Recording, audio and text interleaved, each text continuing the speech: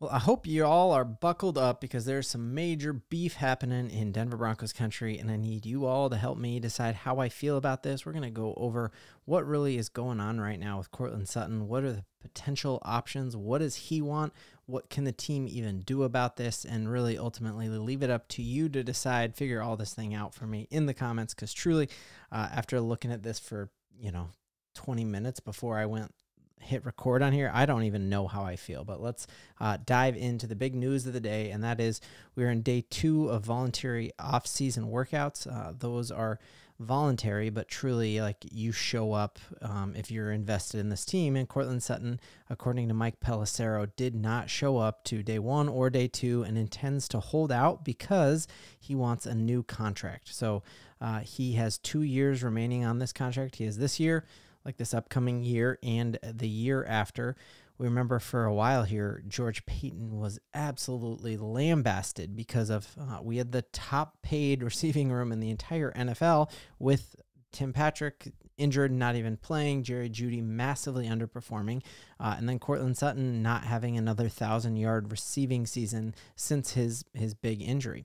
So Courtland Sutton sees dudes like um, sees Calvin Ridley, sees uh, you know, Mike Evans sees Jerry Jeudy, all these guys who you could say he's in the same conversation with go out and get mega, mega dollars. And he, he's just sitting there saying, Hey, I'm just as good as these guys. And now I'm seeing all of these players who, um, who used to be leaders on this team are gone and I'm truly like the veteran presence on this team and now and you need to pay me like these other veteran presences on their team.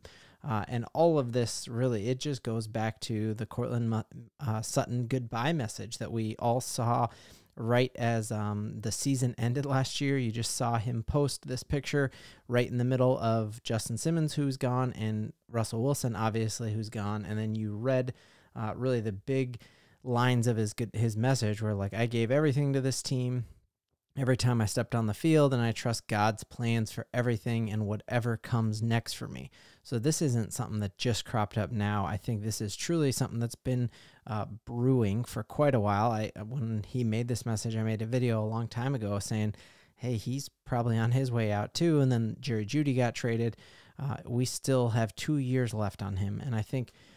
Uh, you know, then you saw after Jerry Jeudy and Russell Wilson got um, Russell got cut, Jerry Jeudy got traded, and um, Justin Simmons got cut as well. You see him tweet out the picture from the last scene of Fresh Prince of Bel Air, really alluding to the fact like this run is over. You know, the Will Smith show was going on for a while and it was over. This is the last scene. So, really, he's been building up to this big goodbye.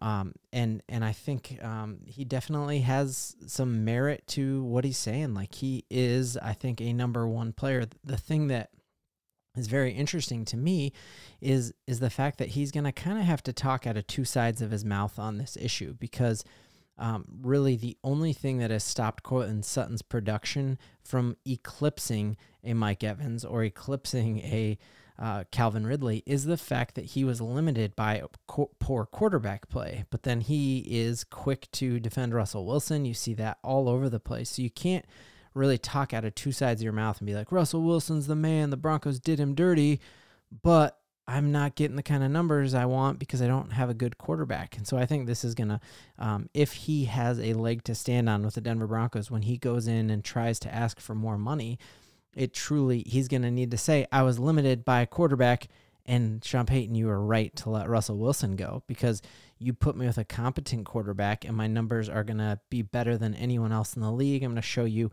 how uh, while his numbers uh, he had 10 touchdowns last season, he hasn't hit that 1000 mark um, that 1000 yard mark since his catastrophic knee injury in 2019 but he's played for 10 different quarterbacks. He's played for Paxton Lynch, Trevor Siemian, uh, remember when we played that wide receiver at quarterback for a game? Like he's played with 10 different quarterbacks over his time, and he's been the one steadfast, like standout thing on our team. And um, I really think the Broncos are between a rock and a hard place on this issue because if Sean Payton wants to set up a new quarterback to succeed, Courtland Sutton needs to be a part of that picture. You can't throw a JJ McCarthy or Bo Nix or Michael Penix Jr. out there with um, like we don't have Jerry Jeudy anymore. We have a tight end who is questionable with health. We have uh, a running back who's coming back from a knee injury himself. Like we need Courtland Sutton to be the leader on this team. But uh, I think this shows that George Paton definitely wasn't wrong in in his re-signing of Courtland Sutton, and we we now see that that was a favorable contract for the Broncos because Courtland Sutton's like, I'm not even going to play on it. Uh, looking at a, a, couple other things here, um, we see a lot of people speculating that um, the Denver Broncos could be forced to move on from him, or do you just wait him out and and say, hey, we got you under contract, we're gonna wait you out, you're here, or or don't show up. Uh, there's speculation out there now that the Denver Broncos might try to trade him.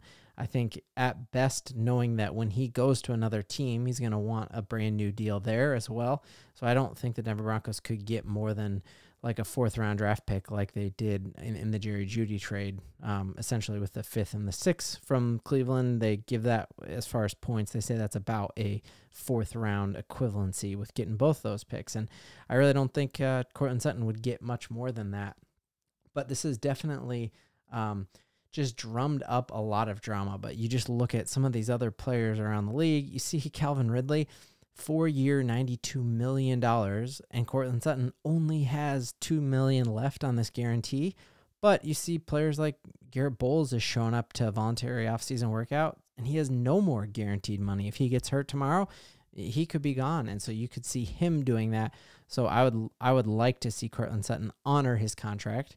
Um, I know that sounds a little uh, hypocritical of me because I, I wanted um, Russell Wilson to open his contract and and renegotiate it. But it it is just odd to me that Courtland Sutton was clearly the most in Russell Wilson's camp of anyone else on the Broncos. The only person who knew about the Broncos asking Russell Wilson to open his contract was was Courtland Sutton.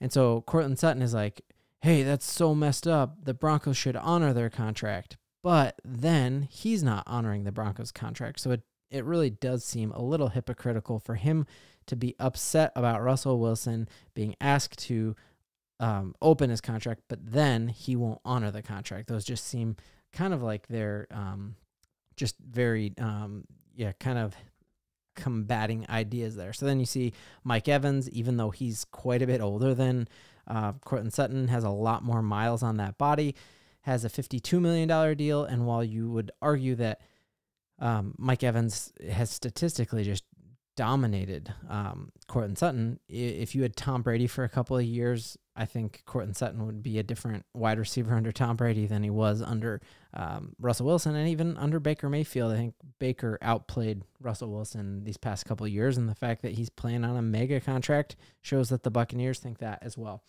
Uh, but if you just look at it by the numbers, most uh, like closest aligned, you see Calvin Ridley.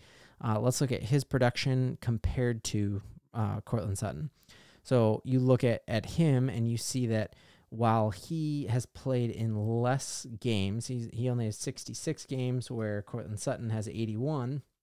You just see that like they are in the same conversation. It, eh, you know, I would say I would rather have Courtland Sutton than Calvin Ridley, but you they're in the same conversation. I'm sure a lot of people would prefer Calvin Ridley to Courtland, uh, but you just look here that um, Calvin Ridley in his time has 4,200 yards, and you look, or that's that's Sutton 4,200. Ridley has him by a couple yards here, 100 yards in less games.